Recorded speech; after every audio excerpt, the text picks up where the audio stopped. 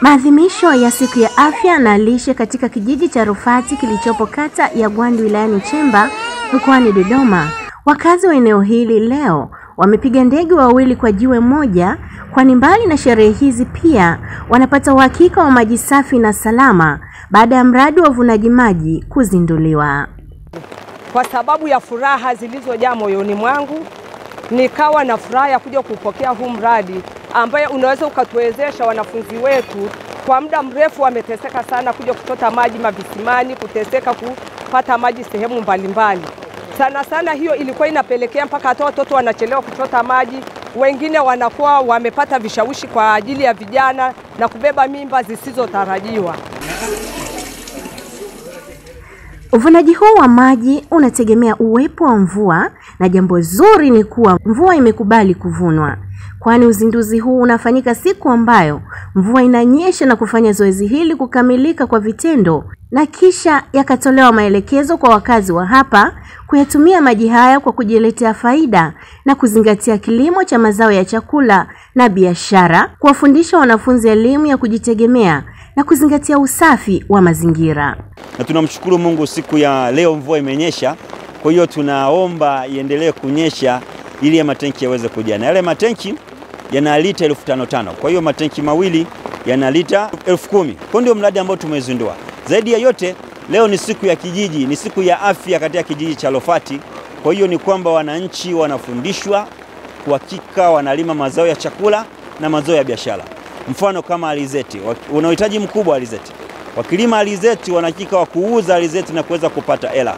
Wakilima mahindi kwa ajili ya chakula na kwa ajili ya biashara, kwa hiyo utaweza kuhakika na kupata hela.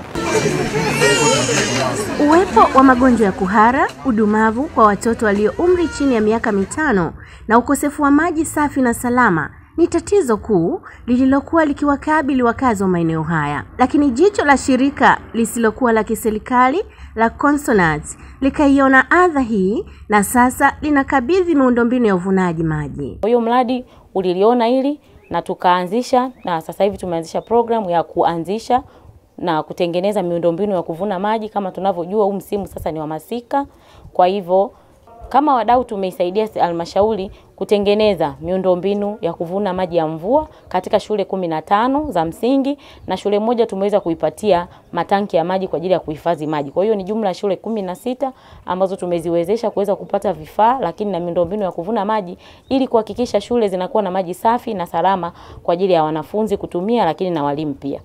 Wananchi, wazazi na walezi wa eneo hili la kata ya Gwandi mbali na kutoa shukrani zao kwa serikali na shirika la Consonant kufanikisha mradi huu, pia wanataka wanafunzi kuzingatia masomo na wananchi kuwa na mwamko wa kupima afya zao mara kwa mara. Kwa kweli shirika la COSNAT limefanya mambo mengi, swala ya afya, juu ya mambo ya lishe, kupunguza udumavu. Kwa sasa hivi tunaona maendeleo ni mazuri, watoto wetu wako vizuri, hali ya lishe iko vizuri, jamii imeendelea kupata elimu na wameshaelewa maana ya lishe ni nini.